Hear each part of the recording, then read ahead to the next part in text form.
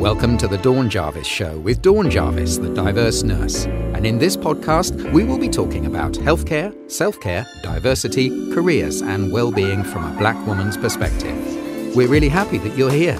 So if you're ready, let's get on with the show. Hello, everybody, and welcome to another episode of the Dawn Jarvis Show. And I'm Dawn Jarvis, the diverse nurse, and this is the podcast where we talk to and about busy leaders, professionals, and business owners.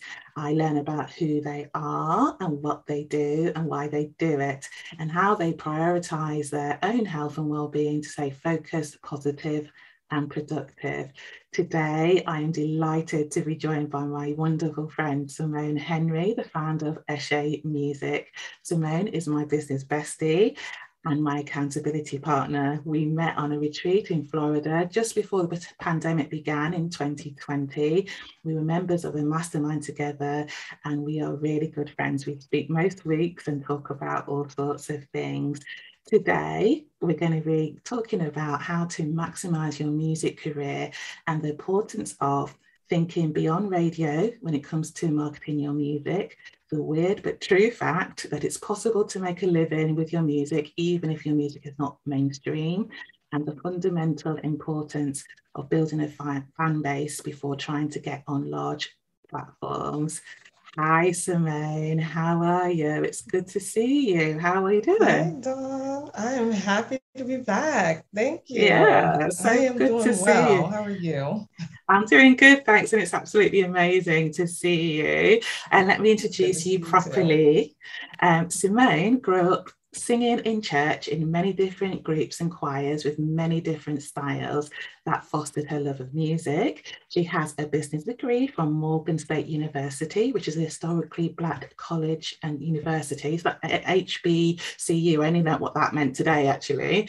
And located, she's located in, um, which was located in Baltimore, that's the Morgan State University. She uses those skills to help independent Christian recording artists to brand themselves and to build their fan bases so they can make money with their music. Now, Simone has already sort of mentioned that she was the first person I interviewed on my podcast just over a year ago.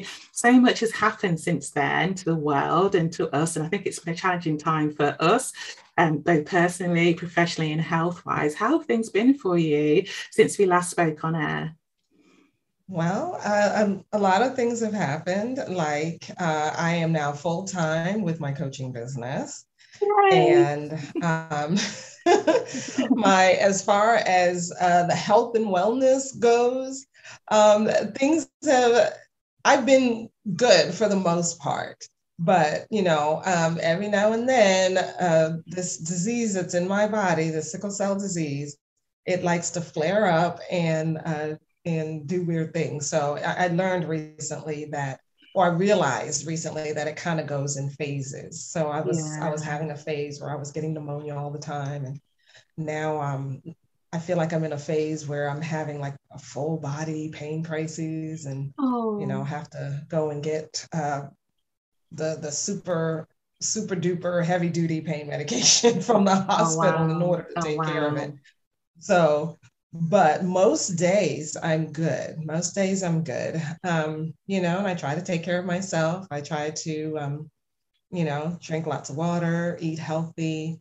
Um, lately, I've been getting out more, getting more sunshine, and mm-hmm. you know, mm-hmm. and mm-hmm. you know, and trying to make sure I take care of my mental health as well. Yeah. So Absolutely. and we talked a little bit about that last time, didn't we? So um, Simone has got sickle cell anemia, which is a long-term condition that has to be has to be managed. And last time when we spoke, we talked about how to manage that during a pandemic when we were isolated. And it's a continuing, it's a continuing illness and things change. And you know, we talked about isolation, we talked about mental health and we also talked about the importance of looking after and meditation and sort of like having a routine as well. And i think i think also since you um you know you're doing your business full time that makes it even more important doesn't it to sort of like look after yourself because it's uh, because you, you know your business life goes on regardless of whether you're feeling unwell and everything. So and i know that we've personally talked about you know the importance of resilience and having sort of like things in place so that you know even when you're not feeling your best that your business still goes on. And, and, I, and I know that's you know that is something that I think we both you know, um, you know, we sort of like, you know, have to think about that quite a lot, isn't it, Simone? Absolutely, absolutely. Um, you know, as a as an IT professional for so many years, yeah. one of the things that I really appreciate is good software that allows you to automate some of your processes. Absolutely. Um, so there are days when I don't feel like writing an email or um, or posting on social media. Um, it's really nice to have um, some systems in place that automate some of these things for you. So it doesn't look like you've disappeared off the, off the face of the earth. Like you're still out there. I'm still here. I'm still working. Yeah. So that's that I appreciate a lot. Yeah, and it's also it's, uh, so automation's like a, uh, another member of your team, isn't it? I think I'm a bit of a technophobe, but so um, I'm you know I'm just coming on the sort of like um, automation train um, and learning it. So yeah, yeah, it really is a thought. So we're talking about maximizing your music industry um, today, and um, you, uh, you know, you you stated that it's important to think beyond radio when coming to marketing your music. So I know that a lot of people you help, they want to get their music onto the onto the onto the radio. That's that's their goal, isn't it? Yes. Um, but you think that you have to think beyond that. So what? So tell me more about that. Well, um, the thing that, and I don't know if I work with Christian artists, um, gospel artists, Christian hip hop artists, traditional, yeah. um, traditional choirs, groups, uh, people like that, and um, and they tend to be older. They tend to be in my age range. I'm 47.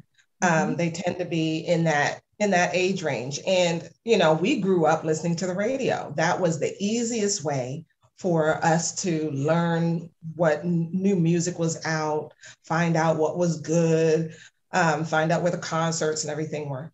Um, and so when artists are, they're trying to, they're trying to get their music out there. When they put out a new single or a new album, the first thing that they think of when when it comes to marketing their music is I need to put this out and get this out on the radio so that people can hear it.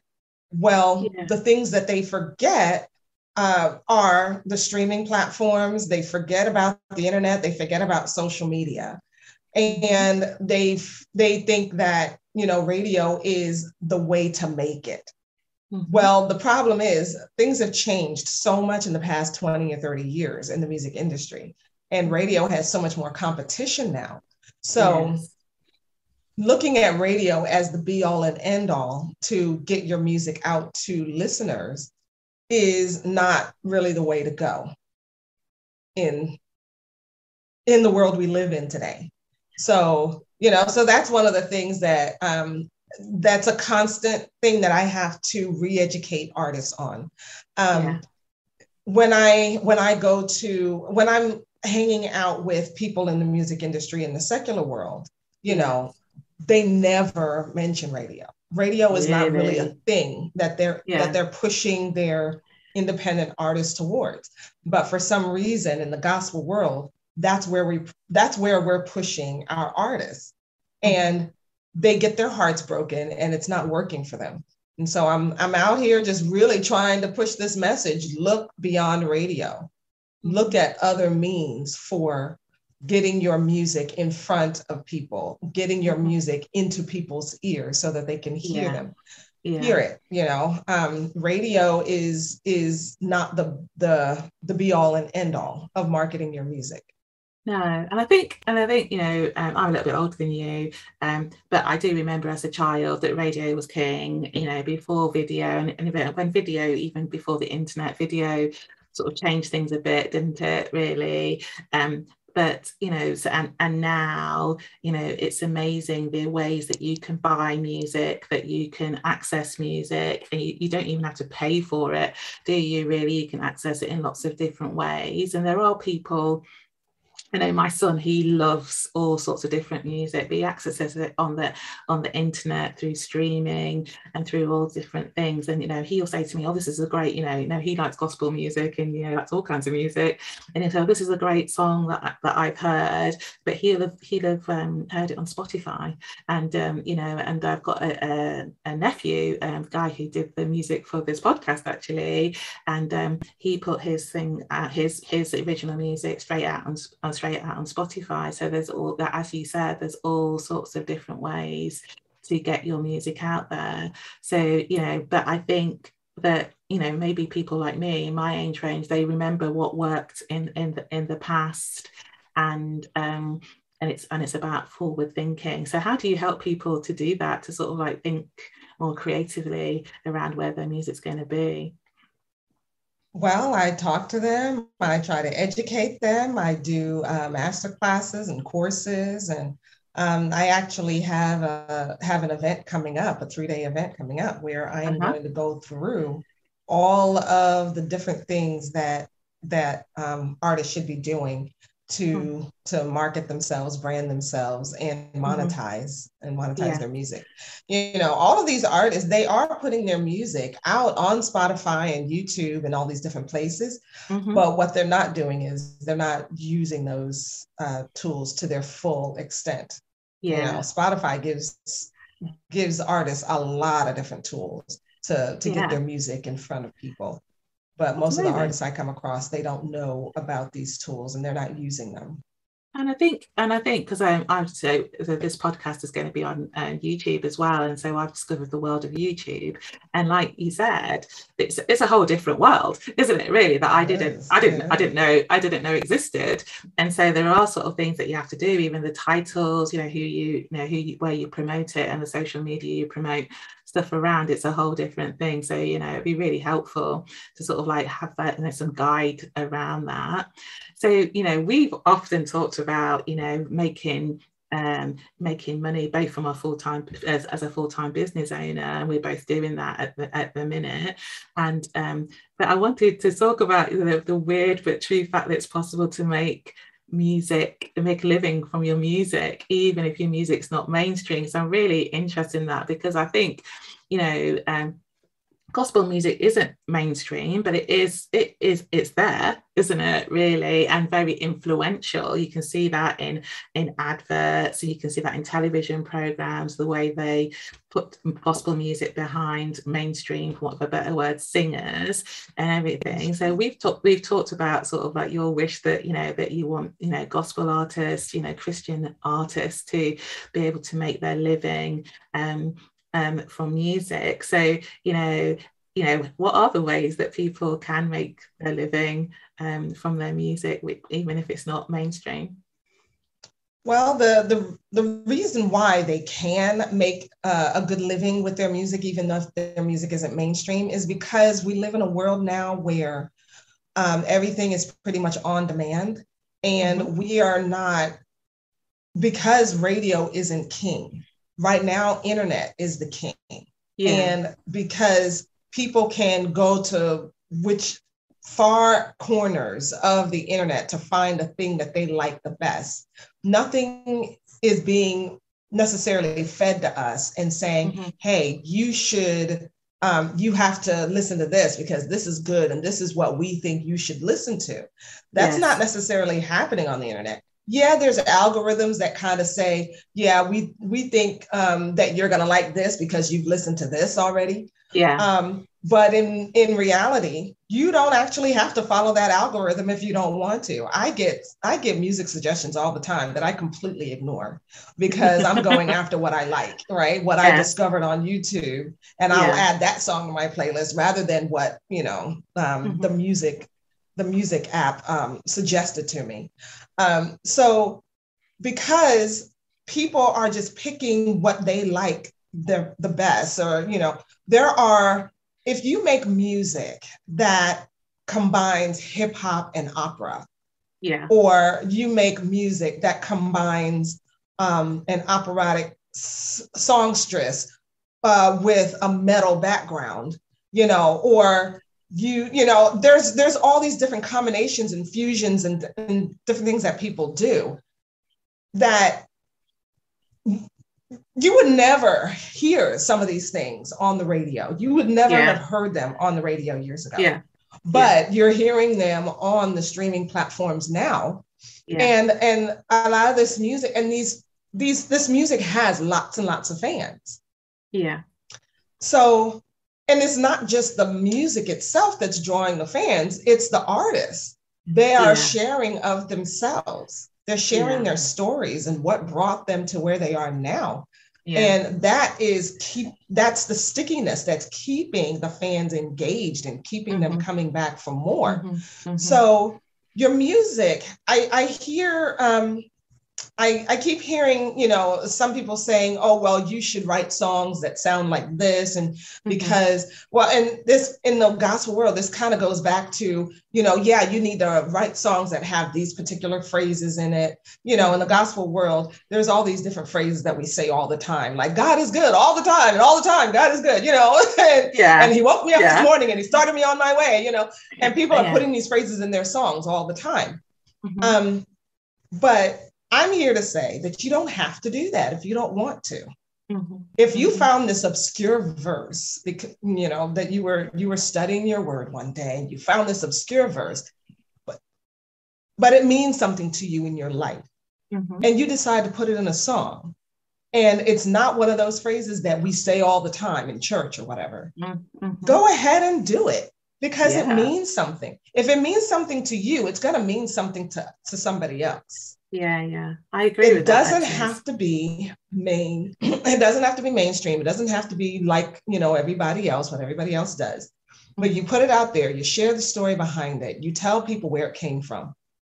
People will identify, and they will start following you and listening to your music. And guess what? Now that they're following you, you can now transform these followers and listeners into fans and then into yeah. super fans who yeah. will advocate on your behalf and Definitely. help you get your take your music ministry to the next level but you yeah. have to you know but it, you can absolutely do that as long as you're connecting with people it doesn't have to be mainstream absolutely not yeah so i really like what you said there and i suppose there's this sort of um it goes back to sort of like you know, should my music be on the radio? It's sort of because that's what I've seen people do before. And, and I know we've got experience it's all about the story, isn't it? It's all about the meaning, it's all about the values and what it is. It's also about connection, isn't it?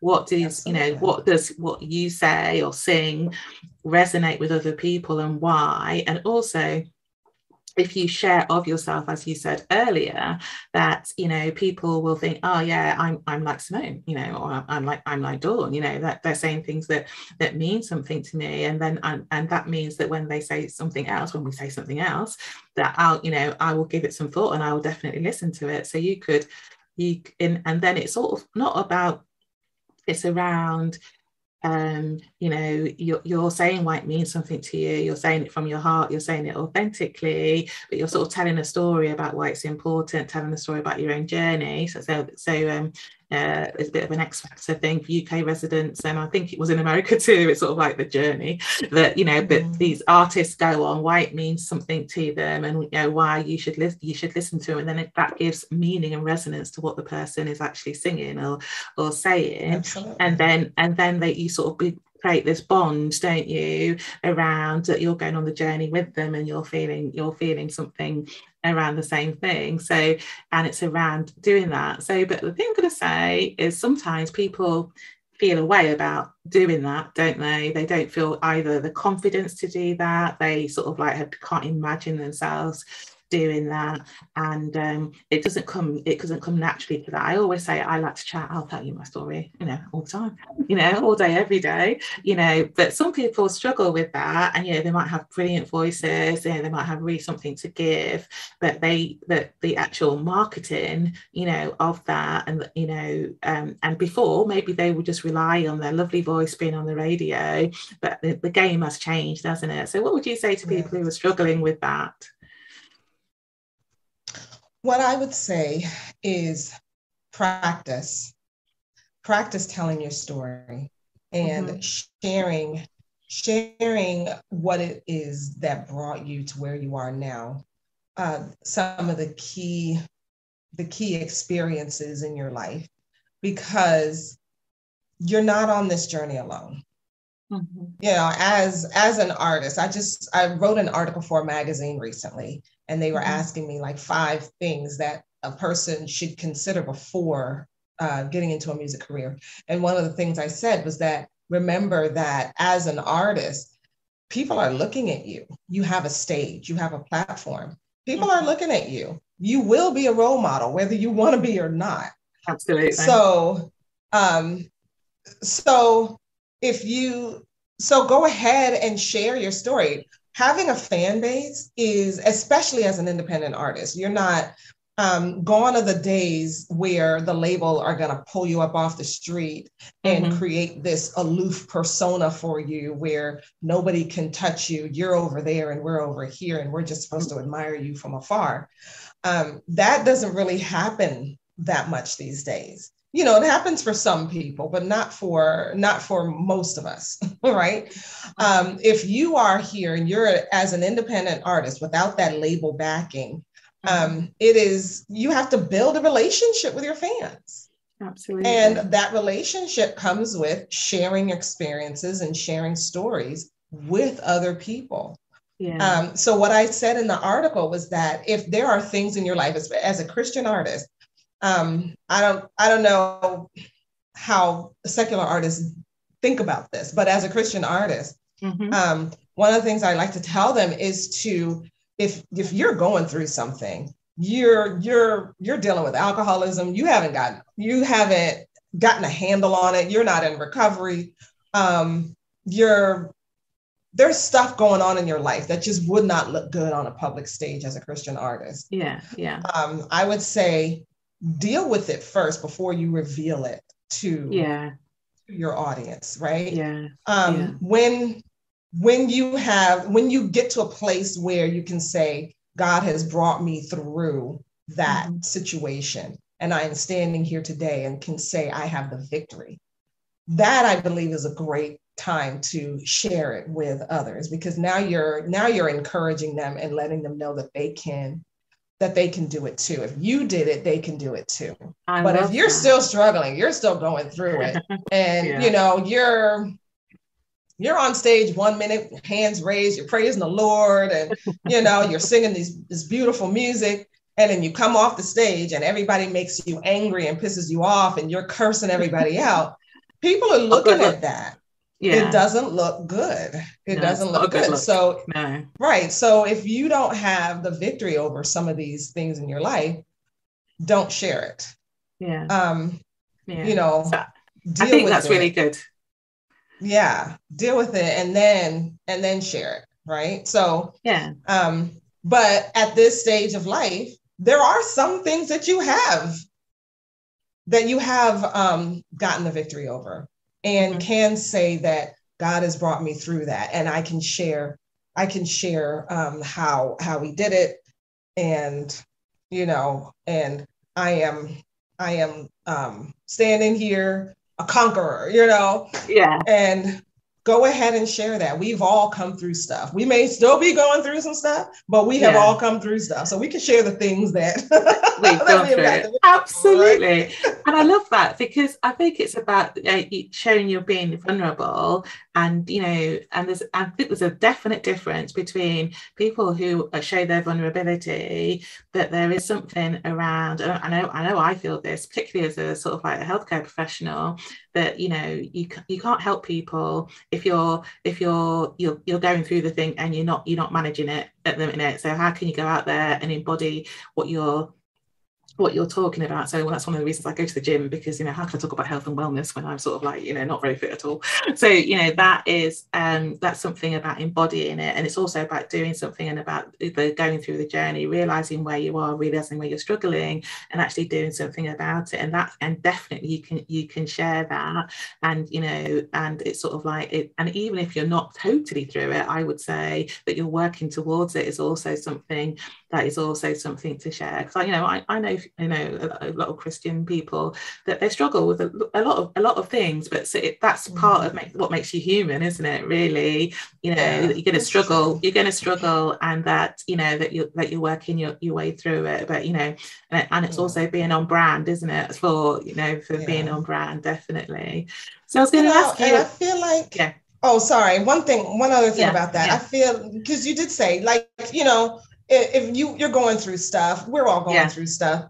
Um, if you can share what you're going through, I feel like in a positive way or in an encouraging way, yeah. then um, then I think that's that's good to share. Whereas if you are super depressed and you're down in the dumps and you can't, you have nothing positive to say, and your audience is like, oh my gosh, do I need to call a doctor for you? Do I need to pray for you? What, you know, you know, that's that's a, that's a different situation. I, have, I, have, been there. I have been there when I thought, you know what, that person is a doctor. You know, they, they shouldn't be here.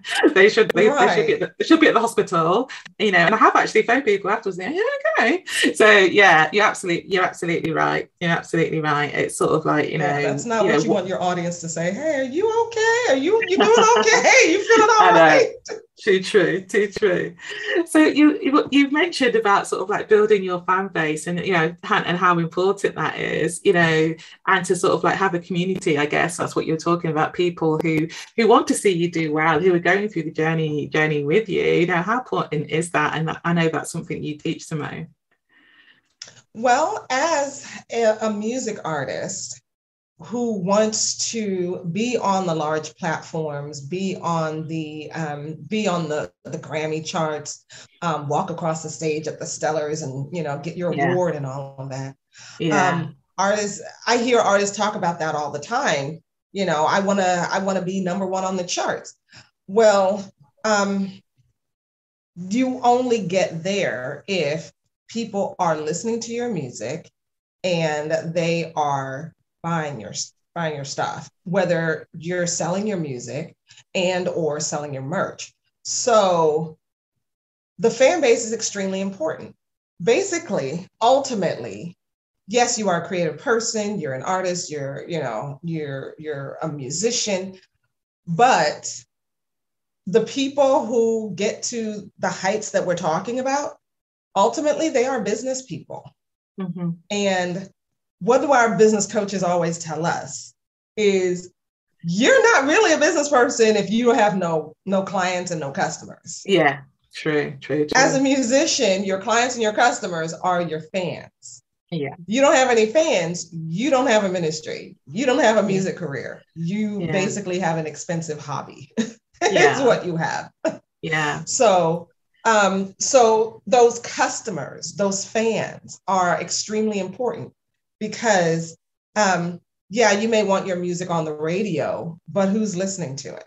Yeah. You may want your um, you may want your music on the charts, um, or you may be wanting to walk across the stage the stage and get the award at the Stellars. But who is cheering for you in the audience? Who's voting yeah. for you? Yeah. Um, on the ballots, right? Those are the fans. Those are the fans. The fans are the ones that push you to these levels. You know, um, who is it? It's Chance the Rapper, Lecrae, and there was another guy. But anyway, they just kind of burst on the scene. Mm-hmm. They burst in onto the scene and into our into our collective consciousness um, after having done all the hard work to build their fan bases on a local and national level.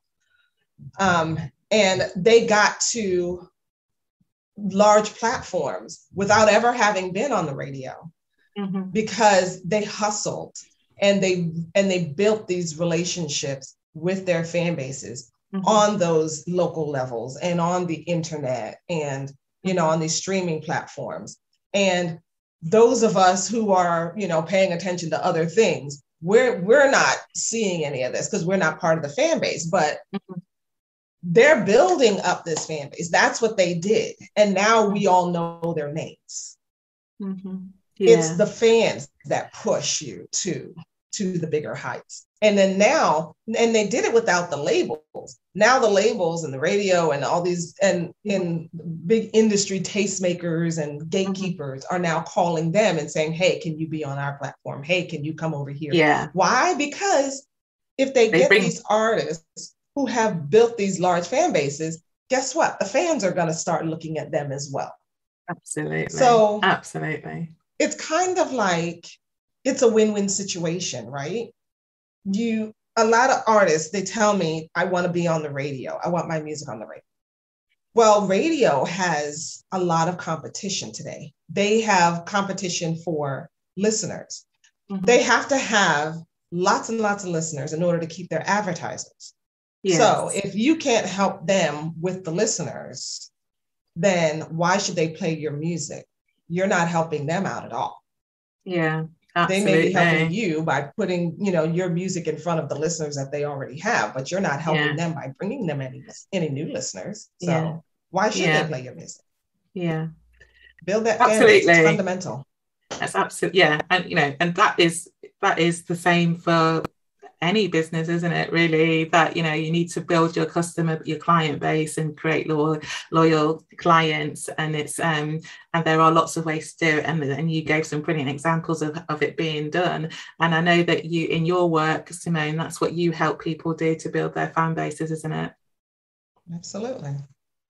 It's fundamental. So that's one of the first things I talk about. It's it's the thing that I press with uh, any artist who comes to me for help. I need help with my career. I want to get on the radio.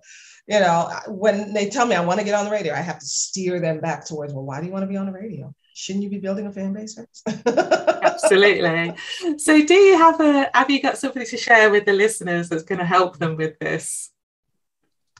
Well, I do have a guide that I will be putting out there because um, because the first question I hear from uh, from most gospel artists is, um, I, I want to get on the radio. Can you help me get on the radio?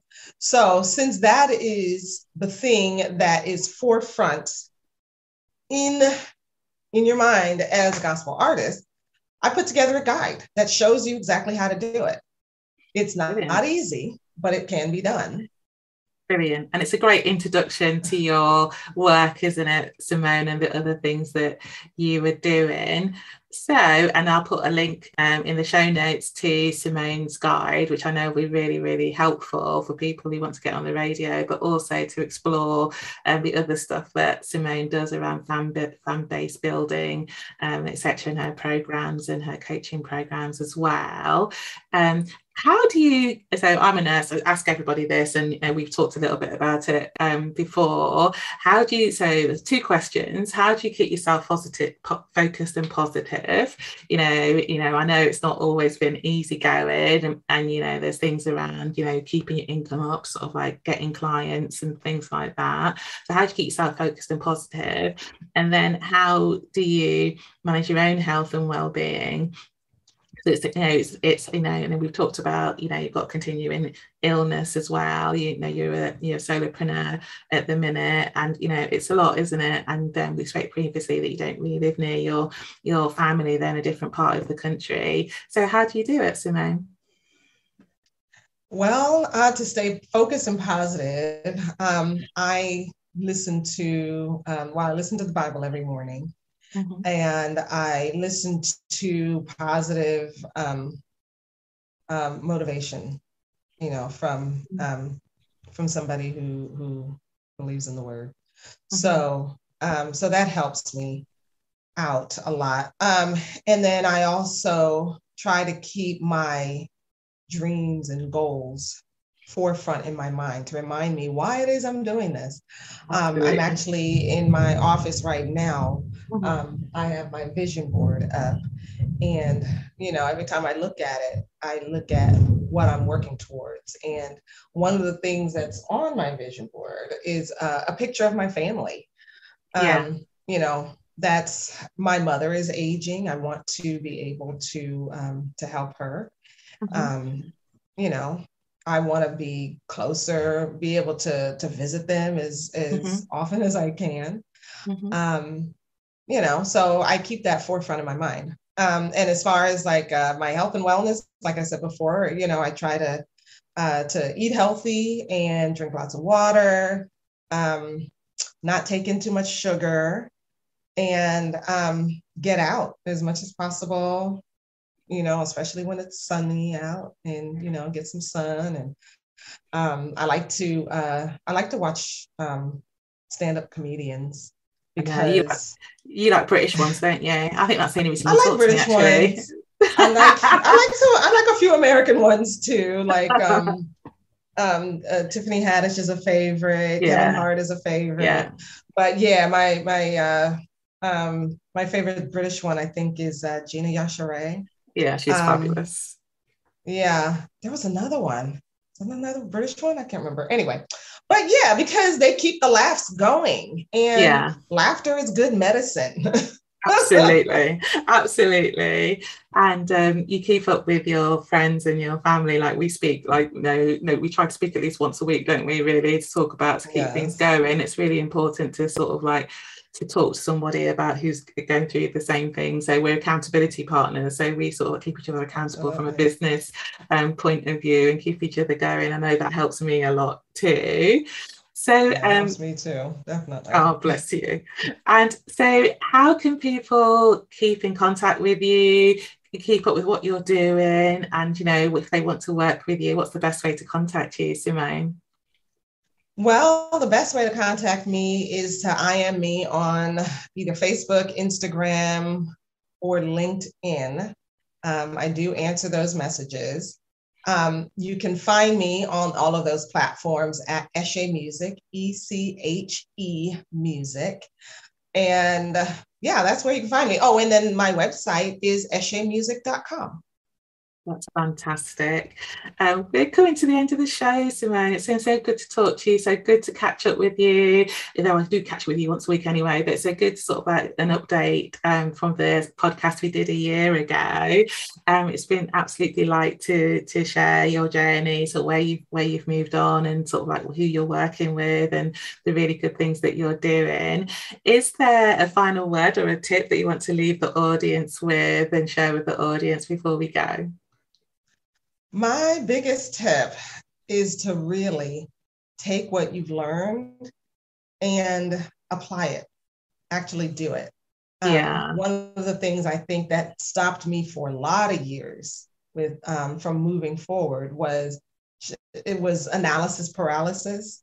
Yeah. And you know, you're just listening to podcasts or reading the books, but not actually doing what they say and so mm-hmm. you don't move forward. So my biggest tip is to apply what you learn and um, and to never give up. That's fantastic, and and you don't give up. You are very resilient, and you know you keep you keep going, don't you? You really do, and you're an, an absolute inspiration to me, and and around uh, uh, keeping going in spite of you know we've been all been through so much. Everybody listening, I'm sure, has had their own challenges with the pandemic, with isolation, with you know keeping their business career, keeping the money rolling in, and everything. I think it's so important to you know keep your dreams. You talked about you know visualizing what you want to do and you know and you know and having those sort of like daily reminders and what's inspiring you about what you want to do and why you're doing it. So i absolutely love that. It's been an absolute pleasure to have you on the on the show. Love that. And um, thank you so much simone so that's it for the Dawn Jarvis. You're very welcome. You're very welcome. That's it for the Dawn Jarvis show today. I hope you enjoyed it as much as I did. And we will, it's the Dawn Jarvis show is brought to you by dawnjarvis.com. Take care and hopefully we'll speak soon. Thank you and goodbye.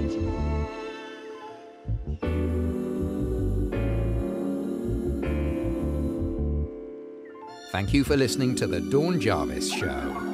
If you enjoyed this episode, there are two things you can do. Number one, leave Dawn a rating and a review on Apple Podcasts. It would mean so much to her if you took a moment out of your time to post your thoughts on the show.